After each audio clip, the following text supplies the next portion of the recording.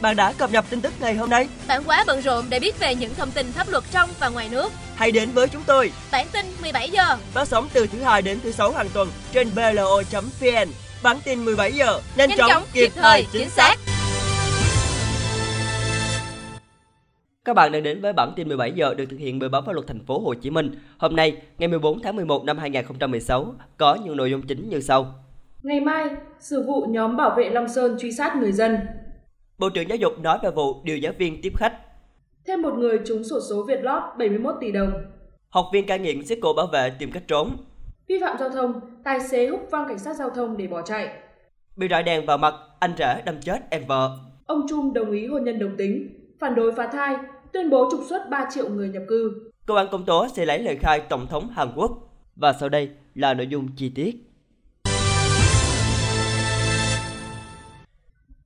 Kiến ngày mai, ngày 15 tháng 11, Hội đồng xét xử Tòa án Nhân dân huyện Tuy Đức, Đắk Nông sẽ đưa ra xét xử 8 bị cáo, gồm Trần Văn Bốn, Nguyễn Khắc Duy, Trương Thanh Dữ, cùng chú tại xã Đắc Ơ, huyện Bù Gia Mập, Bình Phước. Trần Thanh Phúc, Trần Thanh Phong, Trần Văn Trí, cùng chú tại xã Thành An, huyện Hới Quảng, Bình Phước và Võ Văn Luân, chú tại xã Tân Hà, huyện Tân Châu, Tây Ninh về tội cố ý gây thương tích theo khoản 3 điều 104 Bộ luật hình sự. Vì tranh chấp đất đai nên chiều ngày 3 tháng 3, Phạm Văn Phúc rủ thêm nhóm của bốn, Long và Phong.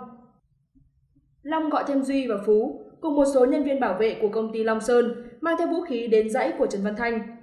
Tại đây, nhóm của bốn xông vào đánh và chém túi bụi những người trong gia đình của anh Thanh. Vụ truy sát khiến anh Trần Văn Thanh bị chấn thương sọ não, thương tật vĩnh viễn 90%. Ba người khác trong gia đình anh Thanh cũng bị thương. Các bạn thân mến, vào đầu tháng 11 năm 2016, lãnh đạo Ủy ban Nhân dân thị xã Hồng Lĩnh, Hà Tĩnh đã có công văn điều động một số giáo viên đi làm lễ tân cho Liên hoan dân ca ví dặm nghệ tỉnh. Sau đó, các giáo viên phản ánh họ cần phải đi cùng quan khách tới một nhà hàng ở thị xã Hồng Lĩnh, Hà Tĩnh ăn uống, tiếp bia rượu và hát hò. Điều này khiến dư luận phản ứng rất nhiều. Vì thế, sáng nay, ngày 14 tháng 11, bên hành lang Quốc hội, Bộ trưởng Bộ Giáo dục và Đào tạo Phùng Xuân Nhạ đã có những câu trả lời với phóng viên về vấn đề này như sau. Ông Nhã cho biết, Bộ đã có chỉ đạo yêu cầu địa phương kiểm tra báo cáo vụ ép giáo viên đi tiếp khách tại Hà Tĩnh.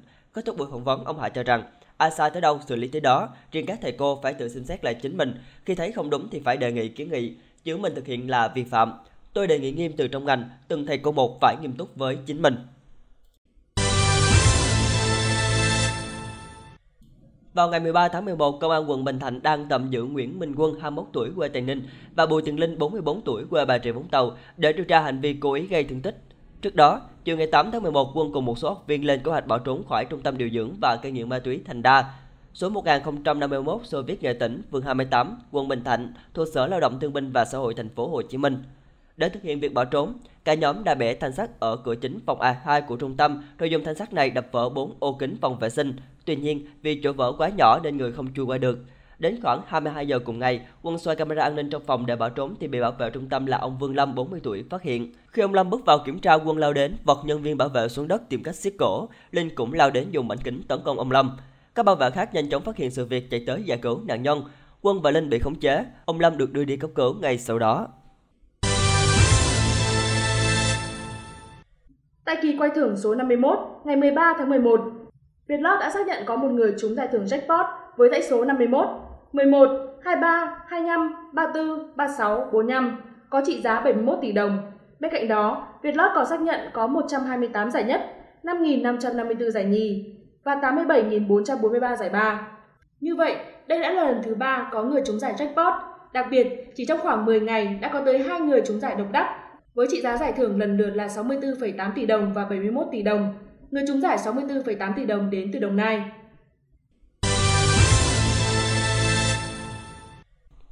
Công an quận Tân Phú, thành phố Hồ Chí Minh đang tạm giữ Lý Hiệp Hoang, 33 tuổi, ngụ quận Tân Phú để điều tra về hành vi giết người.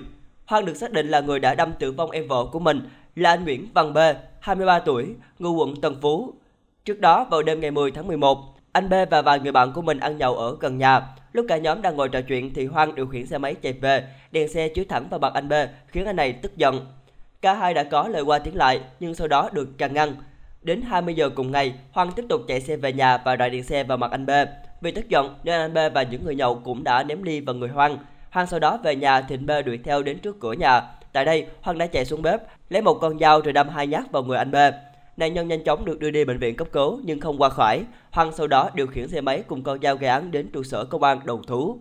Lực lượng chức năng đã nhanh chóng có mặt tiến hành khám nghiệm hiện trường, điều tra nguyên nhân sự việc.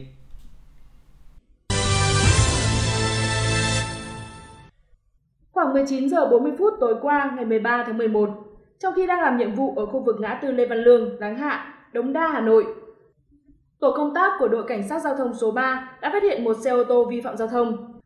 Ngay sau đó, một chiến sĩ trong tổ công tác đã ra tín hiệu dừng phương tiện để kiểm tra. Tuy nhiên, thay vì chấp hành hiệu lệnh, tài xế đã bất ngờ tăng ga, đâm thẳng vào cảnh sát giao thông với ý định bỏ chạy. Do sự việc diễn ra bất ngờ, chiến sĩ này đã bị ô tô đâm trúng và hất văng sang bên đường. Phát hiện sự việc, các chiến sĩ còn lại trong tổ công tác cùng người dân trong khu vực đã đưa cảnh sát giao thông này đi bệnh viện. Theo lãnh đạo đội cảnh sát giao thông số 3, sau khi sự việc diễn ra, đơn vị đã bàn giao lại toàn bộ cho công an khu vực để tiến hành điều tra, xử lý. Trên chương trình 60 Minutes, kênh CBS News, phát tối ngày 13 tháng 11, Tổng thống mới đắc cử Mỹ Donald Trump đã làm nhẹ lo âu của giới đồng tính Mỹ. Ông nói rằng ông cảm thấy hôn nhân đồng tính không vấn đề gì. Dù không phản đối hôn nhân đồng tính, ông Trump lại tuyên bố ủng hộ cấm phụ nữ phá thai.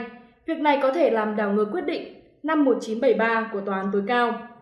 Donald Trump cũng cho biết ông dự định trục xuất khoảng 2 đến 3 triệu người nhập cư trái phép vào Mỹ. Ông Trump nói, Điều chúng tôi sẽ làm là nhắm tới những người phạm tội hay người có tiền án tiền sự, thành viên ban đảng, những người buôn bán ma túy.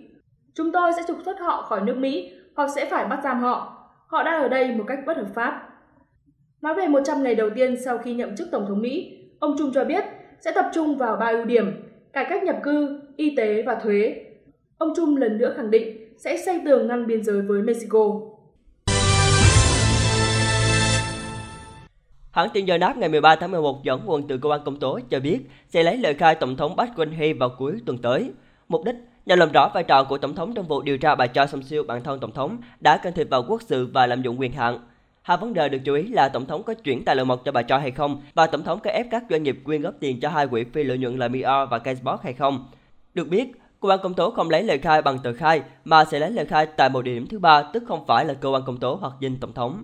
Cũng theo đó, hiến pháp quy định tổng thống có quyền miễn trừ nên bà Park Geun-hye có thể từ chối cung cấp lời khai. Thông tin vừa rồi cũng đã khép lại bản tin 17 giờ ngày hôm nay của chúng tôi. Xin chào và hẹn gặp lại tất cả các bạn vào bản tin ngày mai.